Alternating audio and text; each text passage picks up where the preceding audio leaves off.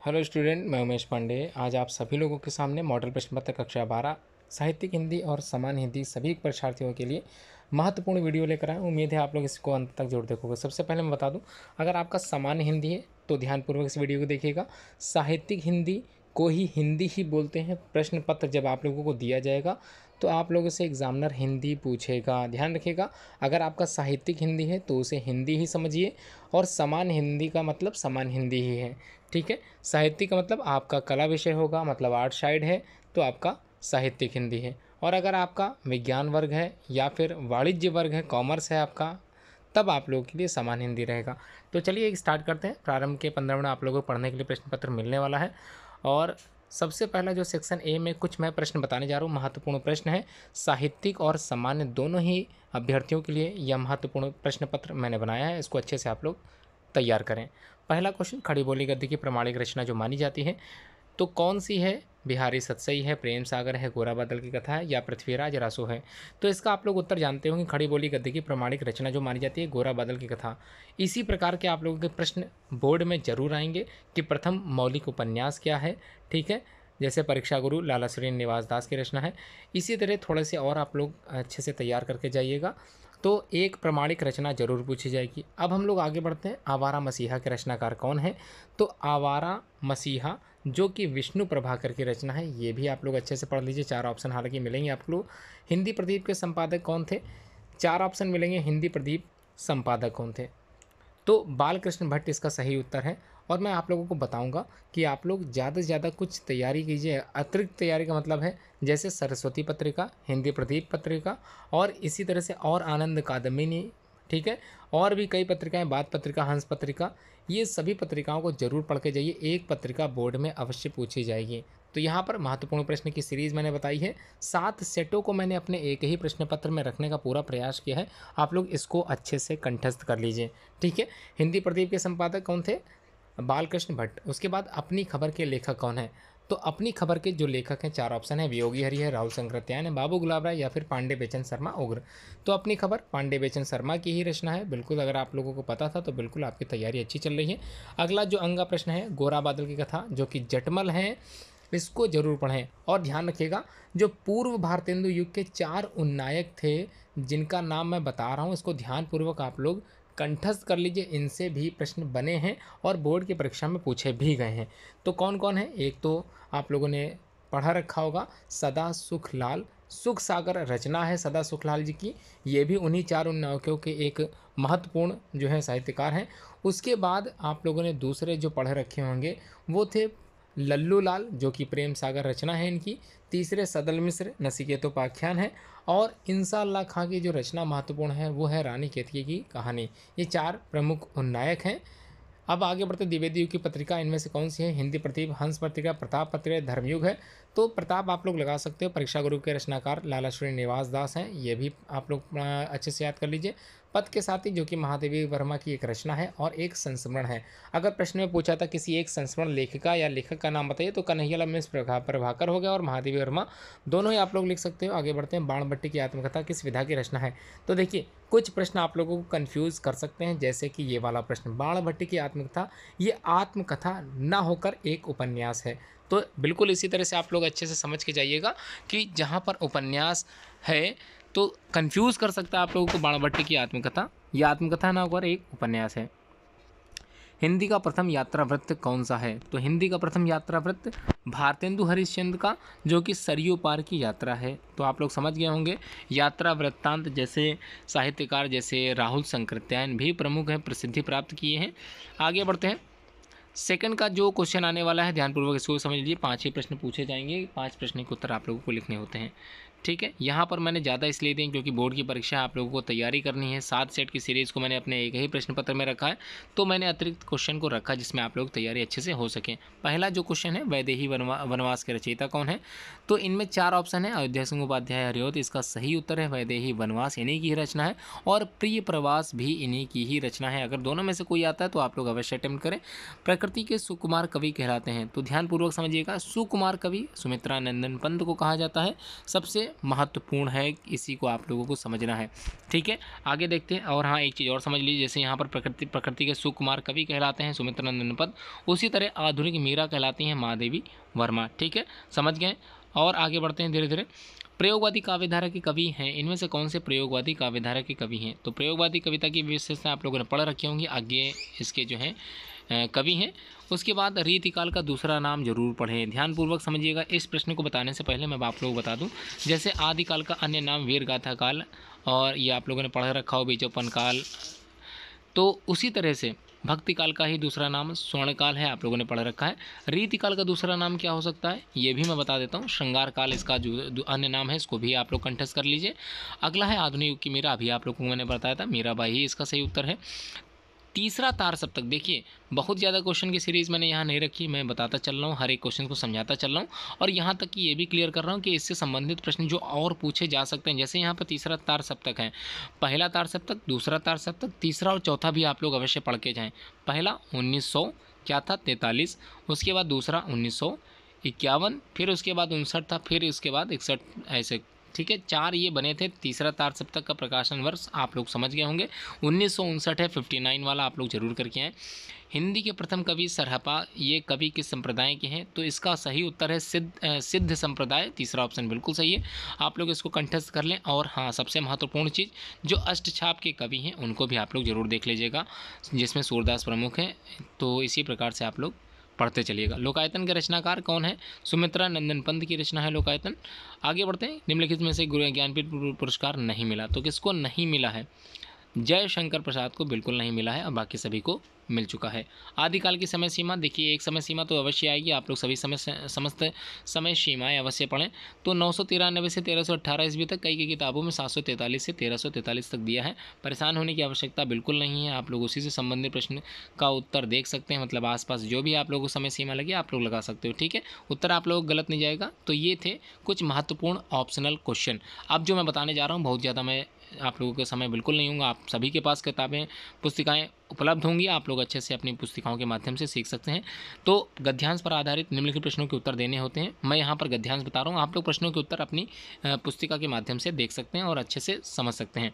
बहुत ज़्यादा मैं आपका समय नहीं ले रहा हूँ, इसको ध्यानपूर्वक समझिए। पहला जो यहाँ पर गद्यांश मैंने रखा सबसे महत्वपूर्ण चैप्टर का है। तीन चैप्टर मैं आप लोगों को बता रहा हूँ। इसके गद्यांश आप लोग अच्छे से कंठस्थ कर लें। कौन कौन से हैं? पहला जो गद्यांश है, वो राष्ट्र का स्वरूप है, वासुदेव शरण अग्रवाल है। दूसरा, अशोक के फूल, हजारी प्रसाद द्विवेदी जी की रचना अच्छे से पढ़िए। भाषा और आधुनिकता, ये तीन पाठ हैं जिसके गद्यांश हर साल प्रत्येक वर्ष पूछे जाते हैं बोर्ड की परीक्षा में। तो यहाँ पर जो पहला यहाँ पर दिया है उसको ध्यानपूर्वक मैं पढ़ के सुना देता हूँ। उम्मीद है आप लोग समझ जाओगे किस चैप्टर से ये लिया गया है। राष्ट्र का तीसरा अंग जन की संस्कृति है। मनुष्य ने युगों युगों में जिस सभ्यता का निर्माण किया है, वही उसके जीवन को श्वास प्रवास है। बिना संस्कृति के जन की कल्पना कबंध मात्र है, संस्कृति ही जन का मस्तिष्क है। संस्कृति के विकास और अभ्युदय के द्वारा ही राष्ट्र की वृद्धि संभव है, राष्ट्र के समग्र रूप में। भूमि और जन के साथ साथ जन की संस्कृति का महत्वपूर्ण स्थान है। यदि भूमि और जन अपनी संस्कृति से विरहित कर दिए जाएँ तो राष्ट्र का लोभ समझना चाहिए। जीवन की विटप का पुष्प, संस्कृति है संस्कृति के सौंदर्य तथा सौरभ में ही।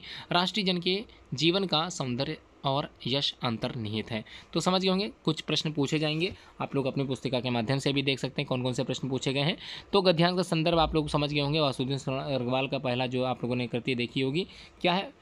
राष्ट्र का स्वरूप। जी हाँ बिल्कुल सही है आपका। और कुछ प्रश्न भी पूछे जाएँगे, चाहे तो यहाँ से पढ़ लीजिए, आप लोग अपनी पुस्तिका के माध्यम से ही पढ़ सकते हैं। अगला जो महत्वपूर्ण मैंने यहाँ पर रखा है, ये इसको भी ध्यानपूर्वक समझ लीजिए। हालाँकि मैंने यहाँ पर थोड़ा सा क्लियर मैं बता देता हूँ डिक्टेट कर देता हूँ।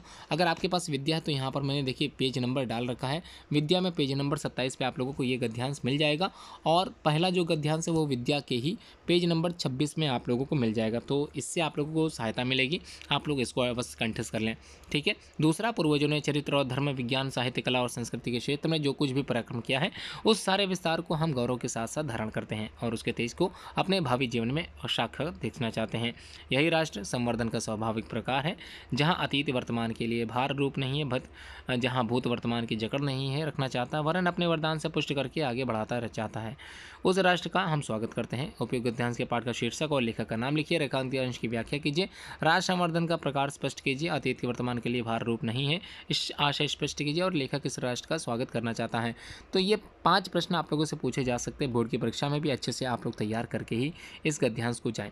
अगला जो गद्यांश मैंने यहाँ पर रखा है, वो अशोक के फूल से है, आचार्य प्रसाद द्विवेदी की रचना है अशोक का वृक्ष जितना भी मनोहर हो, जितना भी रहस्यमय हो, जितना भी अलंकारमय हो, परंतु है वह विशाल सामंत सभ्यता की परिष्कृत रुचि का ही प्रतीक है, जो साधारण प्रजा के परिश्रमों पर पली थी। उसके रक्त के संसार कणों के खाकर बड़ी हुई थी और लाखों करोड़ों की अपेक्षा से जो समृद्ध हुई थी, वे समंत उखड़ गए, समाज ढह गए और मदनोत्सव की धूमधाम भी मिट गई। संतान कमिनियों कामिनियों को गंधर्वों से अधिक शक्तिशाली देवताओं का वरदान मिलने लगा। पीरों ने भूत भैरवों ने काली दुर्गा ने रक्षों की इज़्ज़त घटा दी। दुनिया अपने रास्ते चली गई। अशोक पीछे छूट गया। तो उम्मीद है आप लोग समझ गए होंगे कौन सा पाठ है यह। और इसके लेखक कौन है।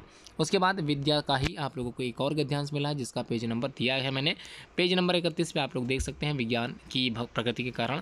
नई चीज़ों का निरंतर आविष्कार होता रहता है। जब कभी नया आविष्कार होता है, उसे एक नई संज्ञा दी जाती है, जिस देश में उसकी सृष्टि की जाती है, वह देश उस आविष्कार के नामकरण के लिए नया शब्द बनाता है। वही शब्द प्राय अन्य देशों में बिना परिवर्तन के वैसे ही प्रयुक्त किया जाता है। यदि हर देश उस चीज़ के लिए अपना अपना नाम देता रहेगा तो उस चीज़ को समझने की दिक्कत होगी। जैसे रेडियो, टेलीविज़न, स्पुतनिक प्राय सभी भाषाओं के लिए एक ही शब्द प्रयुक्त हैं और एक उदाहरण देखिए, सीढ़ी लगाना, ऊपर चढ़ने के लिए अनादिकाल से भारत में एक ही संसाधन के लिए मौजूद था। सीढ़ी, औद्योगिक क्रांति की आवश्यकता अनुसार और भी कई तरह की सीढ़ियों का निर्माण किया गया, जैसे लिफ्ट, एलिवेटर, एस्केलेटर इत्यादि। तो यह भी एक ध्यान है अब जो मैं बताने जा रहा हूँ, इसका पद्यांश आप लोग ध्यानपूर्वक समझिएगा। अपनी उत्तर पुस्तिकाओं के माध्यम से या फिर अपनी पुस्तिकाओं के माध्यम से आप लोग अच्छे से सीख सकते हो। विद्या में पेज नंबर पैंतीस पर यह पद्यांश मिल जाएगा। कृपा निधान सुजान शंभु ही गति जानी। दियो शीस पठ ठाम बाम करी के मनमानी। सकुचति एचति अंग अंग सुख संग लजानी, जटाजूट, हिमकूट सघन बन सिमटी समानी। तो यह पद्यांश अवश्य पढ़ के जाए। महत्वपूर्ण है। दूसरा, विद्या में छत्तीस पेज नंबर पे, कौन हो तुम बसंत के दूत? बृहस्पति जड़ में अति सुकुमार, घन तिमेरे में चपला की रेख तपन में शीतल, मंद बयार, कहाँ लगने अगंतुक व्यक्ति, मिटाता उत्कृष्ट विशेष दे रहा कोकिल सानंद, सुमन का ज्यों मधुमय संदेश। तीसरा, जो मैंने पद्यांश यहाँ पर रखा, सबसे महत्वपूर्ण पद्यांश है, विद्या पेज नंबर उनतालीस पे आप लोग देख सकते हो। तुम मांसहीन, तुम रक्तहीन, तुम अस्थिशेष तुम अस्थिहीन तुम शुद्ध बुद्ध, आत्मा केवल। हे चिर पुराण, हे चिर नवीन, तुम पूर्ण इकाई जीवन की, जिसमें आसार भाव शून्य लीन आधार अमर होगी, जिस पर भावी की संस्कृति समासीन। तो यहाँ भी पद्यांश अवश्य पढ़ के जाएँ, और यहाँ पर जो अंतिम पद्यांश मैंने रखा है, इसको भी आप लोग कंटेस्ट कर लें। सावधान मनुष्य, यदि विज्ञान है तलवार तो इसे फेंक। तेज कर, मोह स्मृति के पार हो चुका है, सिद्ध तू, शिशु अभी अज्ञान फूल कांटों की तुझे कुछ भी नहीं है पहचान। खेल सकता तू नहीं ले, हाथ में तलवार काट लेगा, अंग तीखी बड़ी है। यह धार तो पद्यांश का शीर्षक और कवि का नाम लिखें। रेखांकित अंश की व्याख्या करें। कवि ने भौतिकवादी और वैज्ञानिक युग के मानव को क्या चेतावनी दी है? कवि ने तलवार किसे बताया है? और इसका इस्तेमाल करने से मनुष्य को क्या मना क्यों मना किया है? तलवार शब्द के दो पर्यावाशी लिखिए। तो यह थे प्रश्न जो आप लोगों को पद्यांश के माध्यम से बताने होते हैं। अब जो मैं बताने जा रहा हूँ, ध्यानपूर्वक सुनिएगा, चाहे साहित्यिक हिंदी है आपका, चाहे सामान्य हिंदी है, दोनों को ही लेकर मैंने इस प्रश्न पत्र को बहुत ही बारीक साथ बनाया है। ध्यानपूर्वक समझते चले। अभी तक तो आप लोगों के लिए कॉमन पेपर है। निम्नलिखित में से किसी एक लेखक का जीवन परिचय देते हुए कृतियों का उल्लेख कीजिए। तीन ही आप लोगों को पढ़ने हैं। पेज नंबर सामने दिया है। विद्या में पेज नंबर तैंतालीस और पैंतालीस में आप लोगों को तीनों ही रचनाएँ मिल जाएँगी। वासुदेव शरण अग्रवाल ज़रूर पढ़ के जाएँ। हजारी प्रसाद द्विवेदी अवश्य पढ़ें। और ए पी जे अब्दुल कलाम, अगर आप लोगों के पास समय है पढ़ने का तो अवश्य इनके बारे में भी जानकारी प्राप्त कर लें। इन तीनों को ही आप लोग अच्छे से कंठस्थ करके जाएँ। दूसरे कवियों को आप लोगों को साहित्य की विशेषताएँ लिखनी है। पहला है मैत्री शरणगुप्त दूसरा जयशंकर प्रसाद, तीसरा रामधारी सिंह दिनकर और महादेवी वर्मा। ये चारों ही प्रश्न आप लोगों के सामने हैं। ज़रूर देखें, अच्छे से तैयार करें। पाँच नंबर का आप लोगों से यह प्रश्न पूछा जाता है। उसके बाद छठा जो प्रश्न आता है, कहानी के तत्वों के आधार पर पंचलाइट अथवा बहादुर कहानी की समीक्षा करें। मतलब अपने शब्दों में अब कथानक लिख सकते हैं। आठ, माफ़ कीजिए, अस्सी शब्दों का यह प्रश्न है तो ध्यानपूर्वक लिखिएगा। विद्या में पेज नंबर बयालीस पे आप लोगों को मिल जाएगा। और ध्यानपूर्वक समझिएगा, दो प्रश्न पूछते हैं, कोई एक ही करना होता है। दूसरा में बहादुर अथवा पंचलाइट कहानी के प्रमुख पात्र की चारित्र विशेषताओं पर प्रकाश डालना है। तो इसको आप लोग लिख सकते हो, अगर ऊपर वाला नहीं याद है तब। उसके बाद स्वपथित खंड काव्य के आधार पर किसी एक खंड काव्य के प्रश्नों के उत्तर देना है। जैसे, जो प्रमुख विशेषताएँ होंगी खंड काव्य की, वो आप लोग लिखिए। जो भी आप लोगों ने अपने, जो है, जिला के हिसाब से सीखा है मतलब आपके क्षेत्र के हिसाब से जो भी आप लोगों का खंड काव्य आपके पाठ्यक्रम में शामिल किया गया, उसी तरह से आप लोग पढ़ें। अगर आप लोग लखनऊ के निवासी हो तो आप लोग खंड काव्य सत्य की जीत आपके कोर्स में रहा होगा। इसी प्रकार से आप लोग के अन्य अन्य क्षेत्रों में अलग अलग जो है, खंड काव्य हो सकते हैं। अपनी पाठ्यक्रम को देखें, ध्यानपूर्वक देखें। आप लोगों को यहाँ पर भी दो प्रश्न मिलेंगे, कोई एक प्रश्न का उत्तर आप लोग को देना है। ध्यानपूर्वक जाइएगा पेपर देने। उसके बाद सेक्शन बी है या खंड बा खा कहें। इसमें के प्रश्न मैं बताने जा रहा हूँ, ध्यानपूर्वक सुनिएगा। निम्नलिखित संस्कृत गद्यांशों में से किसी एक का संदर्भ हिंदी में अनुवाद करना है। मतलब संस्कृत पेज नंबर उन्यासी, सेवेंटी नाइन पर आप लोग इस गद्यांश को प्राप्त कर सकते हो। तो चलिए, स्टार्ट करते हैं। इसको भी मैं बताना चल रहा हूँ, किस प्रकार से आप लोगों को लिखना है, इसको भी देख लेते हैं। संस्कृत से साहित्यम सरसम व्याकरणंच सुनिश्चितम। तस्य गद्ये च लत्यं भावबोधसामर्थ्यम् अद्वितीय श्रुतिमाधुर्यं वर्तते कि बहुना चरित्रनिर्माणाधीर्थ यादृशे सत्यवेणां संस्कृतवाङ्मय ददाति नन्तरसिद्धिशयं किञ्चित् तदन्त्य मूलभूतानां मानवीयगुणानां यदृशी विवेचना संस्कृतसाहित्ये वर्तते नामयत्र तादृशी दया दयादानं शौचम् आदर्यम्, अनुसूया क्षमा अन्ये चानेके गुणा अस्य साहित्य अनुशीलने संजायते। इस तरह से आप लोगों को गद्यांश मिलेगा और आप लोगों को इस गद्यांश के माध्यम से ही हिंदी अनुवाद करना है। ध्यानपूर्वक कीजिएगा, ससंदर्भ सहित लिखना है मतलब संदर्भ भी आप लोगों को लिखना है कि प्रस्तुत गद्यांश हमारी पाठ्यपुस्तक जो है संस्कृत खंड के किस ले, पाठ से लिया गया, ये आप लोग अवश्य लिख के आए। और उसके बाद ध्यानपूर्वक समझिएगा, आप लोग सामने एक ही गद्यांश होगा, आप लोग एक गद्यांश लिखना और एक पद्यांश लिखना। यहाँ पर मैंने गद्यांश थोड़े से बढ़ा दिए। चैप्टर मैं बता दूँ कौन कौन से चैप्टर महत्वपूर्ण हैं संस्कृत के लिए। पहला जो चैप्टर है सबसे महत्वपूर्ण जो आप लोगों ने पढ़ रखा होगा, एक तो महामना मालवी है और दूसरा संस्कृत भाषा या महत्वम।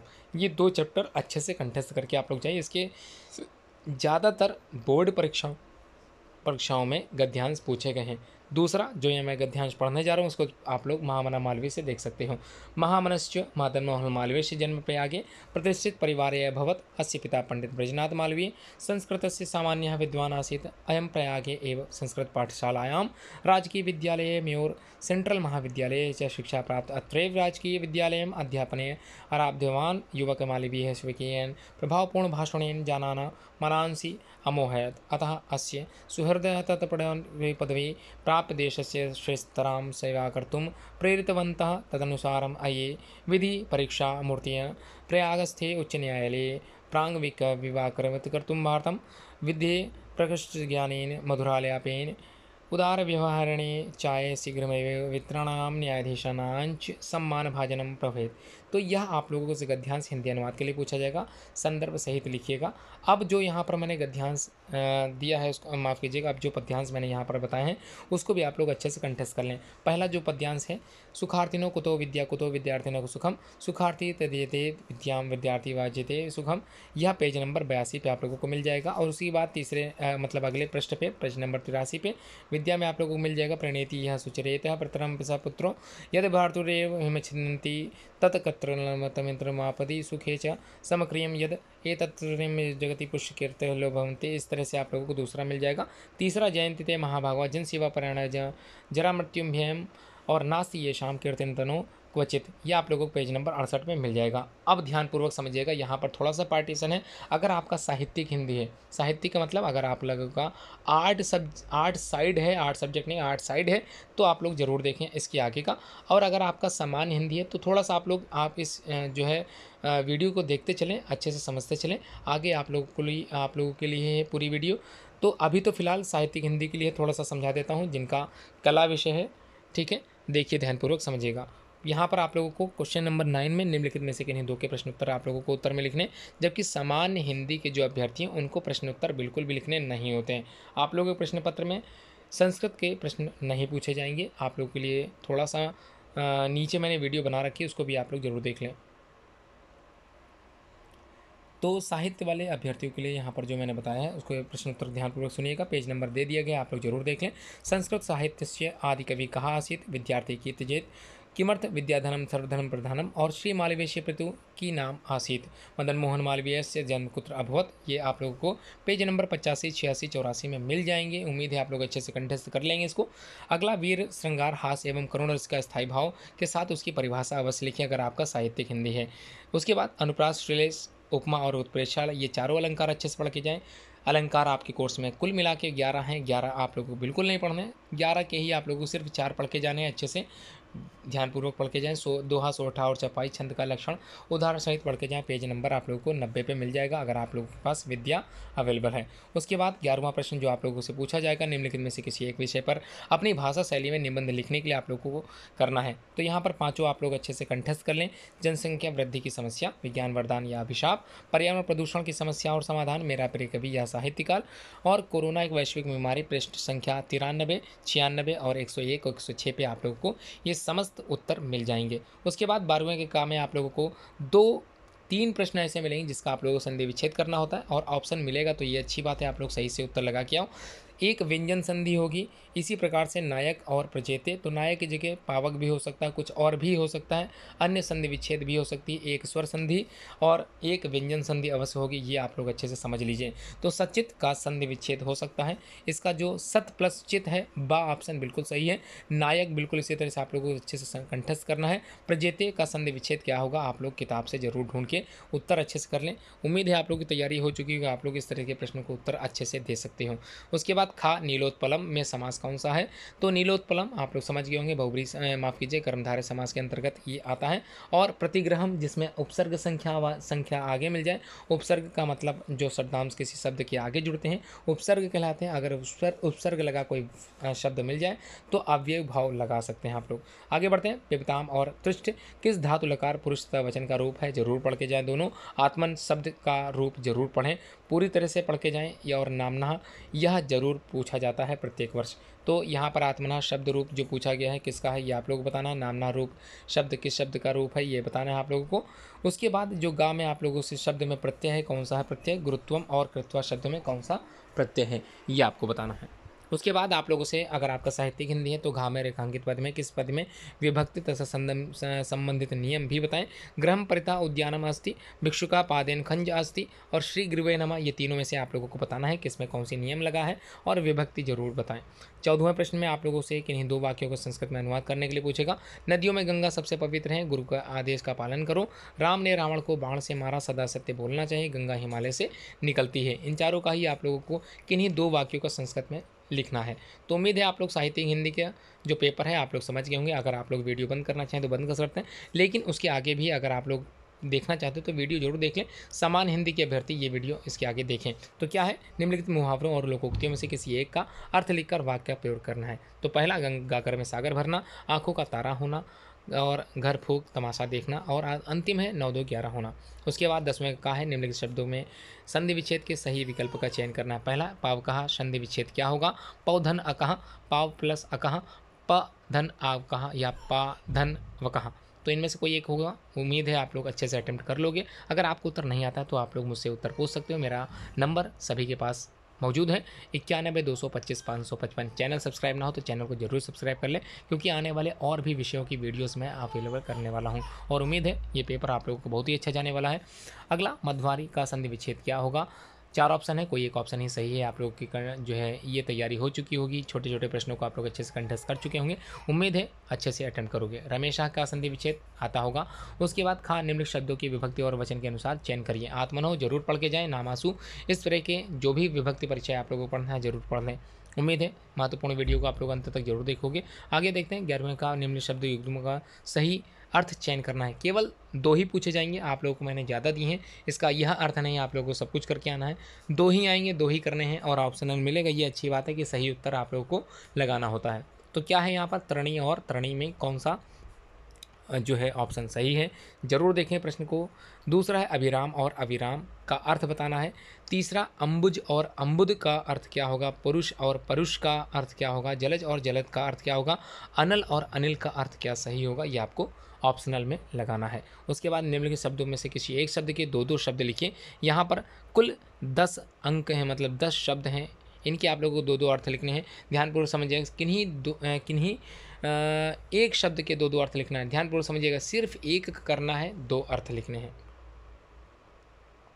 नाग है, पतंग है पयोधर है, कर है, कनक है, अंबर है, अंक है, कपि है, द्विज है और अली है।